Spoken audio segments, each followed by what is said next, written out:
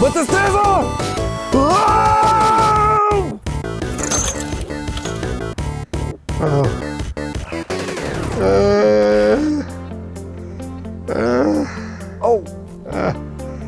Сече. Абе, зашо? Кога ти е камо ти лево, ти десно е да. О, стрезо. Не можам да мрдам десната рака. А, мене ми е нешто меко под глава. О, А, изгледа се парализира. о, и тече валя некаде крв нега. О, Стефче, А, не си ја чувствувам лява рака, е. Стефче, не ја чувствувам лява рака, е. Е, колко е скршена, е. Ај, о, ај, о,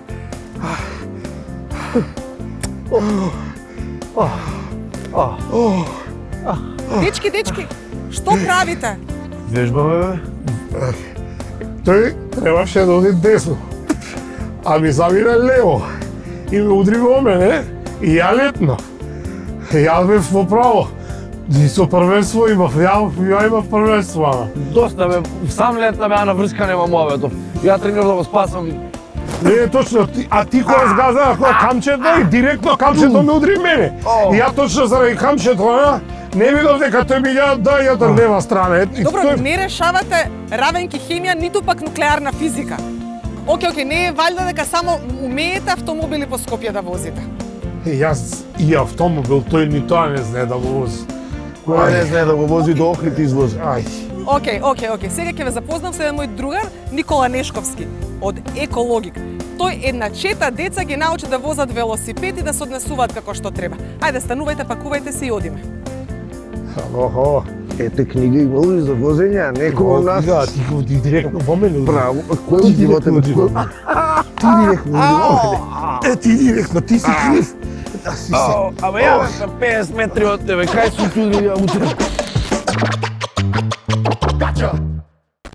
Велоучилишта е една идеја што почна некаде неофицијално 2014, официјално 2018. Почна со 10 школи, 10 училишта, во моментов има 182-3.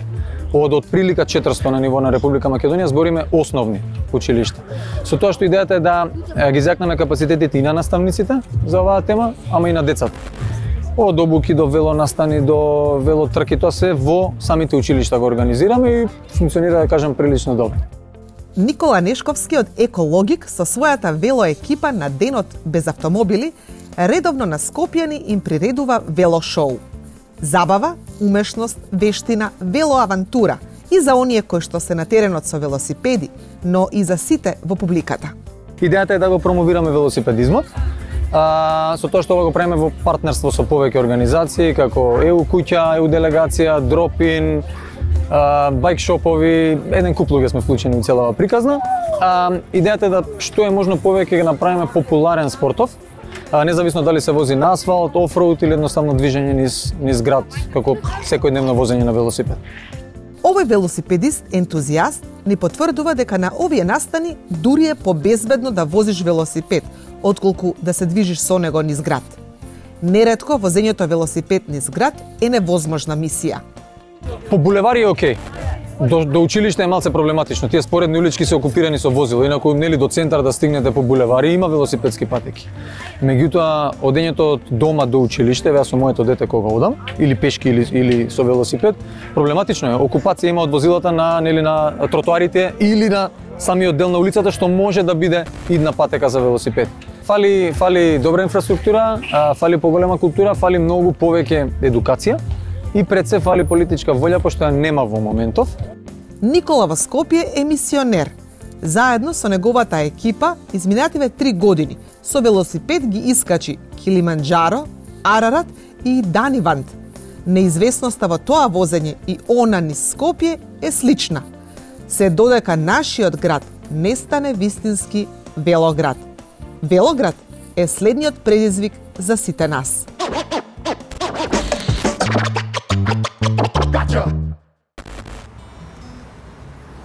Што е за Килиманджаро?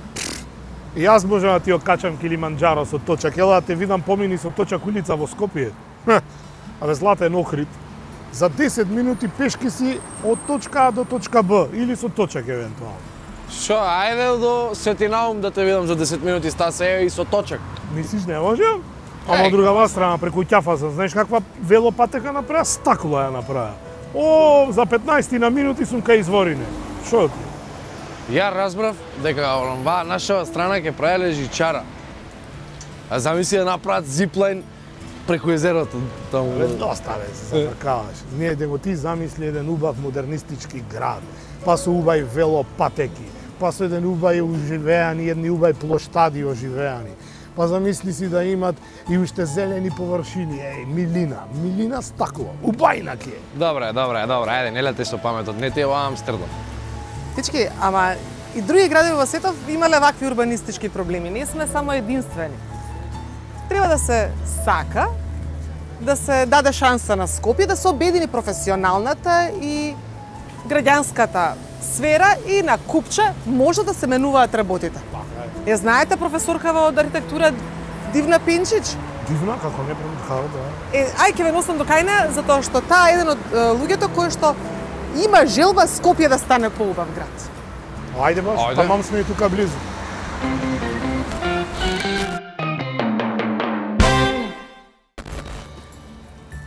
Дечки, еве професорката по урбанизам Дивна Пенчич. Редок човек кој што е активен во граѓанскиот сектор. Здраво. А, Дивна нашава тема е како до градови без автомобили и дали во Македонија постојат е, освестени градови кои што користат алтернативен сообраќајен а, режим или се свесни за еколошките а, можни решенија на сообраќај? Да, Мислам дека постоја, постои свесност, но не би рекла градовите сами по себе, него за тоа треба да се свесни градоначалниците и оние што го планираат градот. А, така да речеме имаат изготвено некои документи што се викаат а, урбан план, мобилити план. А, и еве сега за да се спремам за вашата емисија, прочитав некој од нив, на вистина знаењето го имам. Сега е одлуката политичка како ќе ги третираме градовите. Дали ќе ги и понатака господари ќе ни бидат автомобилите или ќе се вратиме на она што сме го знаеле, да си одиме пешки, да возиме точак и да се чувствуваме поубаво во градовите. Добре, нашите градови со моменталната инфраструктура која што ја поседуваат, можат лесно да се прилагодат на таков начин на функционирање? Па, на пример, Скопје одма може да се направи. Скопје е планиран се едно со многу широки улици, од секогаш имало нели, движење кое е лесно низ него, затоа што е рамничарски и повеќето градови во Македонија се во рамници. Веројатно има повеќе проблем во Крушево, во Кратово, во Велес, но и таму некои делови можат да се третираат поинаку, не мора ние сите со автомобили секаде да стигнеме. Еве го спомнавте Скопје, јас пошто сум домородец од Охрид, мене ме интересира секогаш за Охрид. Каква е состојбата во Охрид според вас? Дали има некој простор за подобрување и така натаму?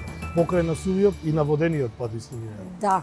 Охрид бев изненадена и сега за ковидот имав, нели, можевме во Охрид да одиме и да уживаме во Охрид, да заборавиме на Грција и на другите земји.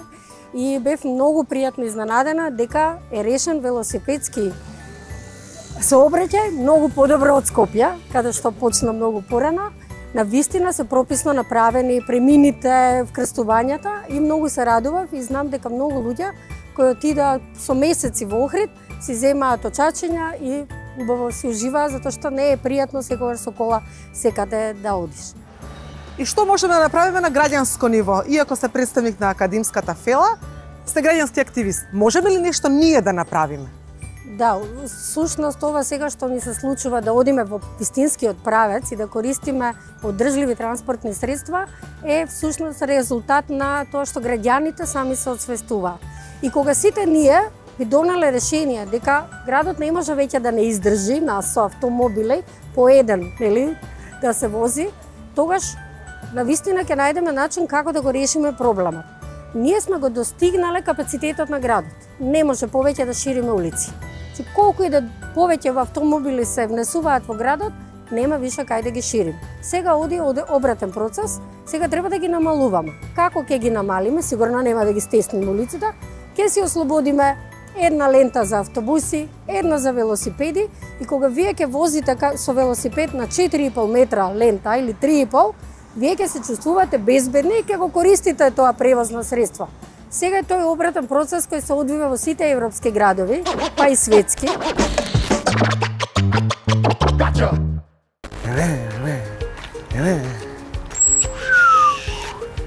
Šta, Цезо? Што бараме сега тука? Абе, Ана, Ана треба да ја чекаме тука. А јас знам зошто.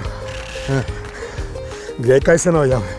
Филхармонија дече? Ке треба да пеем. Па? Пак ќе правиме песна. Ама нема да правиме од тие твоите рапови, папаля, папаля. Заема пееме нешто класика. Ова за Фигара, ко? знаеш? За Фигаро? Да. Не. Не Фигаро за коса, него Фигаро да направо, ви сме добро, Фигаро добро, ви сме добро, Фигаро добро, Фигаро добро. Не. Ла, ла, ла, ла, ла, ла. Ја првиот дел, ти вториот дел, после двајцата заедно. И, Здраво! здраво, здраво. Се договоривме со Стефан и со Стрезо се најдеме тука, ама тие мисла дека ќе ги викнеш на концерт, дека ќе треба нешто да ти отпеат додека ти свириш. Во суштина немаат идеја дека си велосипедист. Одлично. Еве, Ана. Ти Дуња е со незе. Зи, со Дуња е со незе, така свири пијано.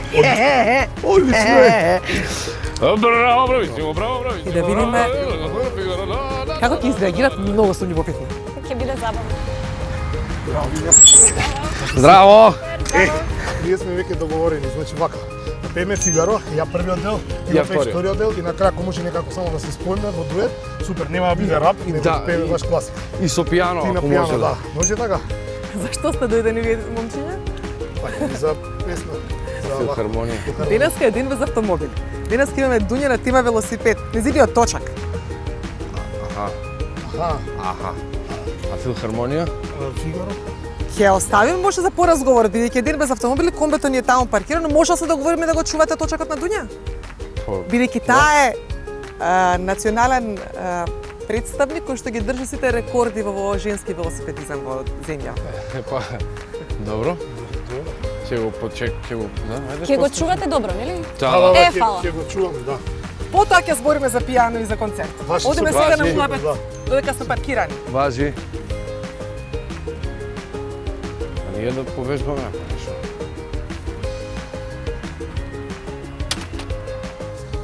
Точак треба да чувам. Пехта ми се. Ајде, стрезо чувај точак, стрезо чувај комбе, јас ке си јадам, ти стрезо чувај го комбе, во сега чувај го точакот. А песната? Песната никаде. Фигаро ке сме пееле. Чувај го точакот, чувај го точакот, чувај го точакот, чувам точакот. Чувам точакот, тра-ла-ла-ла. Стара, добар.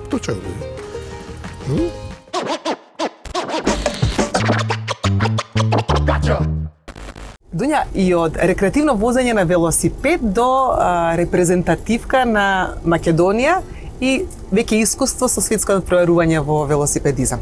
Пред три години кога почна малку пострастно му се посветуваш на велосипедот, размислуваш дека можеш да стигнеш до светско првенство? Ни во најдобрите соништа.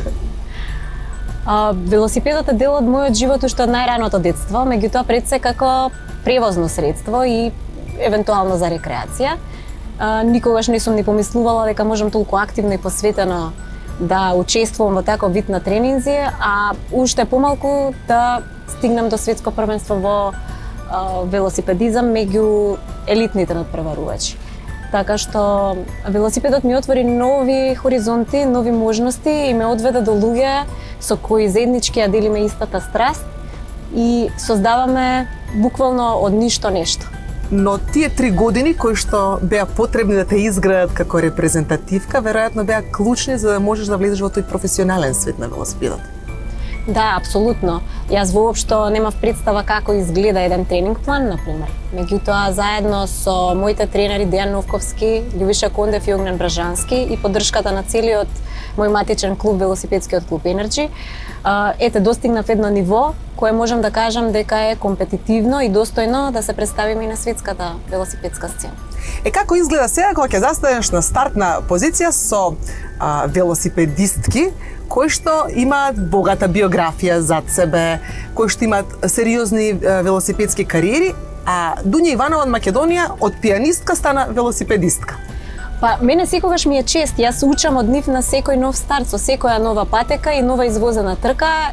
Јас се стекнувам со знаење кое на друг начин не можете да го добиете. Иако поддршката и во односи на техничката опрема, а, иако и ние доста солидно со многу големи напори, еве конкретно за светското првенство обезбедивме на вистина а, одличен велосипед. А, можам да кажам дека поддршката која тие имаат се гледа дека тоа на вистина се работи за една традиција, на стратегија кој нациите ја имаат, ја негуваат со децении на нас. Го чувствуваш тој товар кај себе дека треба веќе да ги поставиш со својата активност на ова поле основите на таквото бавење е, со женски велосипедизам, затоа што ти во суштина си носител на националните рекорди во различни дисциплини не чувствувам товар, за мене тоа е предизвик, затоа што и во другите сегменти на моето живење барам идеја, барам предизвик обштествено да делувам преку различни форми на изразување, како што е тоа музиката, на пример. Е, овој пат нека биде тоа спортот. Не ми е товар, меѓутоа ми представува пречка, зависта која постојано се сервира на патот, за која некако станува еден да амблем на нашето општество и тоа е нешто што ме прави тажна на вистина, затоа што а, не гледам зошто луѓето трошат енергија да ги рушат мостовите наместо да градат нови мостови. А, сепак а, се наоѓам во еден доста добар круг на луѓе и заеднички успеваме да ги поместиме нештата напред. И сега што ти лежи повеќе?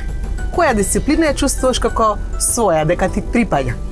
Па јас почнав со планинскиот велосипедизам и можам да кажам дека со таа дисциплина можам да се идентификувам. За мене тоа е една бескрајна игра, затоа што постојано нема крај на учењето. Не се работи само за физичката подготовка на надпреварувачот, туку и се совлад... едноставно мора да бидете подготвени да совладате различни препреки, значи да поседувате вештини, затоа што патеките за планинскиот велосипедизам се нешто на вистина сериозно и не се за, за секој. А, тоа е еден предизвик кој еве секојдневно сакам да го негувам. Дуња, што доби ти од велосипедот во оваа своја животна фаза? Слобода. Слобода, а, која предходно можеби не сум ја чувствувала до тој степен, иако сум ја барала на разни начини. А, време кое е ексклузивно само за мене, кое ќе кажам може би звучи претенциозно и себично, меѓутоа нешто што го заслужувам јас, секоја жена и секој човек на крајот на краиштата, затоа што тоа ме прави подобар родител, подобар подобар наставник. Во мене развива една енергија која во текот на денот потоа јас ја мултиплицирам и ја ја жнеам и кон другите луѓе. Значи нешто што се јавува како иницијална потреба пред се за здравје, а потоа за здрав дух и е, силна мисла која ќе ми даде инспирација не само за денот, туку и за воопшто за животот. И може би тука треба да се е, пресмати и фактот дека тебе во суштина велосипедизмот не ти одзема многу време од твојот професионален живот, од твојот семеен живот. Апсолутно, тоа се час до два во текот на денот. Секој човек заслужува време за себе. Сега сите бираме како ќе го потрошиме тоа време. Мојот избор е велосипедот.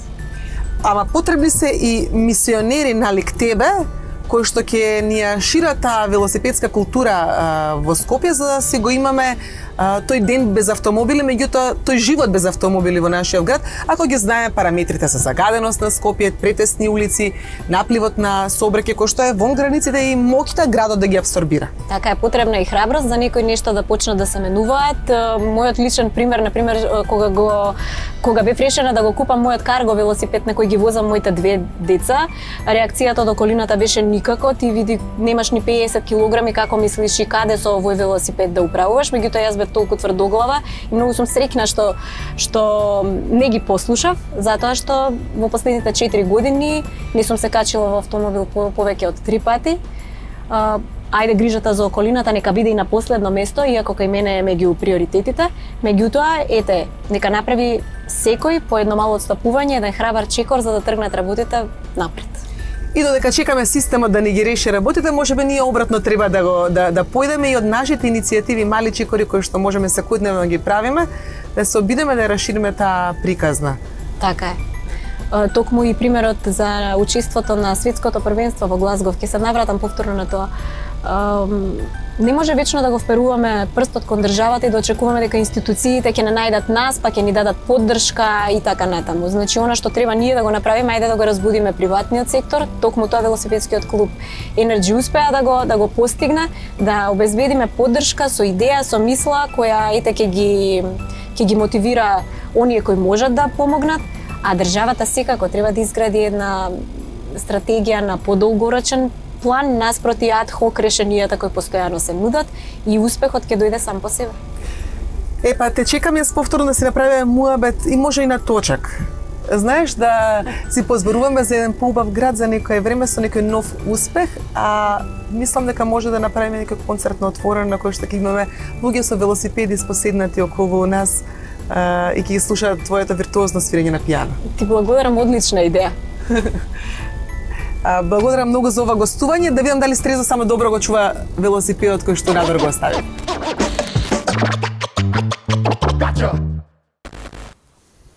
Ти викам баба да што има. Баш кон Европска унија. А, браво. Билку.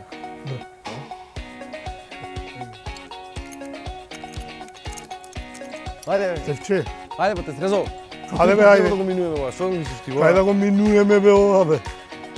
Догоре и назад, после и догоре и па назад. Абе ти, Стевче, Стевче.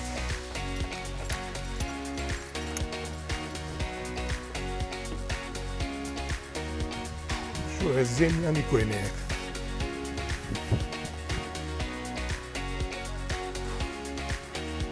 Абе, Стевче, А, Ана, као иде? Ана, Да. Да вози велосипед со Дуња. А ти што се имаш таму качено жити буда. Е, слегни, молим те, шо бајка бараш таму, не можам да те гледам кај што ми е страх. Како е шо мајка барам, ба те стрезо се спремам. За кај се спремаш? Ке качвам ридови, ба те стрезо. Овде се Па спремаш. се спреме нормално, ова ти е адре- адреналински парк. И ова ти од Европска унија донација, не знаеш? А, мам бе, Стефче, кај ќе качиш ти планини едва и на Галичица се подкачи 100 метра, те носев на Соколички, бе. Па за тоа вежбам, за да можам утре ми идат луѓе, битни фаци, треба да се качам горе, да се посрамотам ли? Со кој ќе се качиш ти, кажи ми? Со кого ќе се качвам? Кој ќе Знаеш, ама екипа имам. Евроамбасадорот, амбасадорот на Шведска, на Германија, на Кралството Шпанија и заменичката на мировниот корпус. Бре, бре, бре, Е, моле, бре, бре, бре. имиња од ракав, така. О, бо, бо, бо, бо, доста лажиш, бе, мене ме лажиш. Кај ќе качиш, кажи ми, ајде мене. Ја те лажам. Па ти ме лажиш, кај ќе качиш, ај, кој ред ти ќе качиш? Утре у Велески идат. Кај мене ќе дојдат. Што мислиш ти само охрит има ридови? Вршник ќе окачувам у Велес. Што смееш? Ти вршник ќе слушај вака. Јас ја ќе дам и на жана моја ќе речам да ни направи некоја ѓомлезе или некоја пита под вршник, а ти ако мамиш бујрум на ѓомлезе. А ако не, чекам селфи од врв на вршник со сите што ги наброја. Чао. Ја, ја лажам. Ајде. Е, ќе видиш утре кој ти пратам слика. Не, оти ја не можам да се качувам, немам добра екипа, бе. Ако не, то може ја и после да доам на тренинг, што? Ба те стрезо! А едно парче и за мене од тоа ѓомлезето, ме слушаш?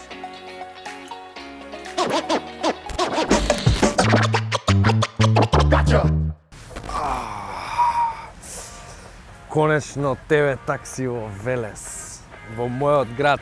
Е, бате стрезо, бате стрезо. Не знаеш ти што пропушташ. А, а не, па, реално не е фер. Ја му отидов во Охрид кога отидовме, сега ме остава тука сам. Ден без автомобили и сега му текнал комбето да го перел. Знам ја ше работата, не може он да го качи врвот, само ајде, джабе ми се фали нека галичица, е, море Стефче, ако ја качувам галичица, шо качуваш галичица, си сплаши од вршник, а многу ми е геле. Јавев на припреми, као што може да сите да видат, и сега сум спремен, и башка си имам топ екипа за качување врв. Ајде, и Славица, организаторката. Славица! Здраво, Стефан. Здраво! Како што знаеме, денеска сме на денот без автомобили, дојдени во Велес, веќе по втор пат на поспецифичен, поуникатен начин го прославуваме денот без автомобили. Имаме покането над 15 амбасадори кои што ќе присуствуваат и ќе ни се придружат на искачувањето на врвот вршник. Заедно ќе се искачуваме со нив, исто така ќе не придружуваат и пратеници од собрание, останати наши соработници. Денов без автомобили не ни е само еден во рамките на Европската недела на мобилност. Седум дена се, меѓутоа годинава малку ни беа тие седум дена, проширивме на 8 дена и 8 дена ја празнуваме Европската недела на мобилност. Денеска се искачуваме на врвот Вршник.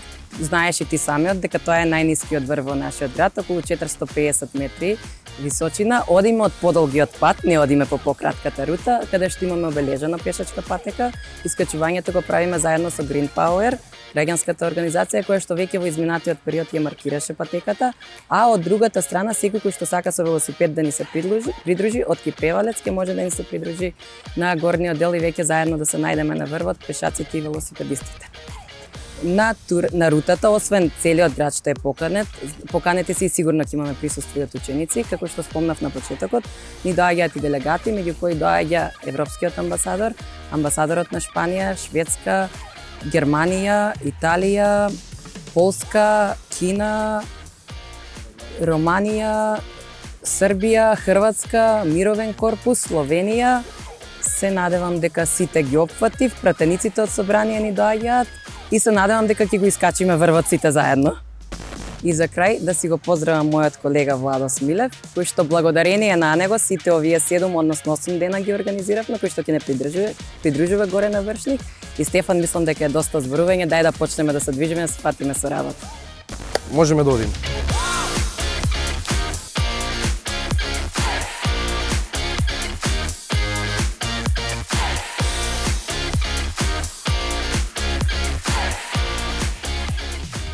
Пред се да ви подсакам добре дојде во мојот Велес. А, знам дека сте први на ниво на делегација во велосипедизм. но мене ме интересира како ви оди пешачењето и дали ви е предизвик да се качува вако брзо. Okay, so I'm great to be in Venice and to celebrate Mobility Week. Mobility Week is really about showing that uh, towns can do things differently, that we can have a greener uh, greener, um, more healthier lifestyle in a town. Um, now, about Velomer, we have this competition inside the European Union, 140 delegations, and it's a competition in May to see who can do the most cycling. And the good news is our delegation here in North Macedonia won it for one year and for a second year, and I'm hoping we're going to get it for a th third year too. So we're looking forward to hiking up the, up the top of here. I understand there's a fantastic view from the top, uh, and I'm sure everyone's going to enjoy it. It's great to have local people, the international community, parliamentarians and the council all together showing that we can have healthier, greener lifestyles here in Veles. Thanks a lot. Пред се, добре ни дојдовте во Велес.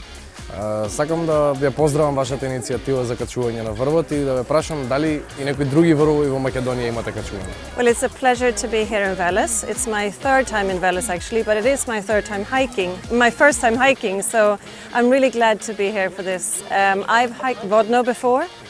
Uh, I have big plans on doing many more hikes in North Macedonia. I've hiked previously in South Africa and Sweden, but this is my first time in Veles, so I'm looking forward to it. I know the mountains. Uh, I come, come from Poland. Uh, I live uh, quite close uh, to the mountains in Poland. 100 kilometers uh, doesn't mean a lot, so uh, we travel to, to the south and quite often go and hike.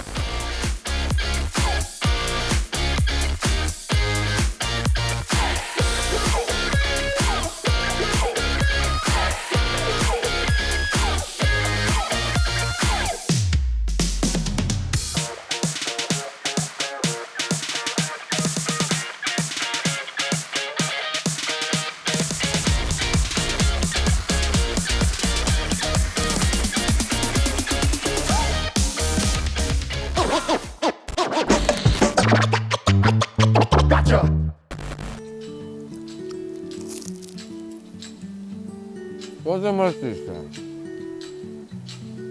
Ми се скрши скиролот. Е па бате А се. треба да си одам дома, нема како да си одам дома сега. Ако баб ме жуже напита ти Арно и тркалцата што му останале на него. добро бе, добро. Ако ти се скрши скирозот, е ти нозете скршени, оди си пешки. Мене треба за пола сат да сум дома. Жана ќе ме пери ако не сум за пола сат, треба да ја вратам тепсијава, да ја прави подварак. Од точакот. Стевче, јас да знаев да возев точак, немаше да го влечкам тој спиролот цел ден со мене. Добро бе. Е, па што да правам сега, на ушка да те качам? А, не, не, не, не, ли ба, што? сега за ти скиролот го скрши. Абе, па... Не, па мене кичмо ќе ме види се колку кажеш што ти е тебе, кај ќе те качаме? Прикасни ти од тоа уш малу и видиме кој кој кафе после тоа. Не, кога се нервираш, јадеш стално. Многу си нервозен. Добро ме, па те стрезо. Земи го, ја ти помогнам, може? Абе, ти реков дека не знам да возам точак. Ја ќе наоѓам, ја. Ја пуштам и ја ќе те држам, ќе ти помагам. Ајде, оди.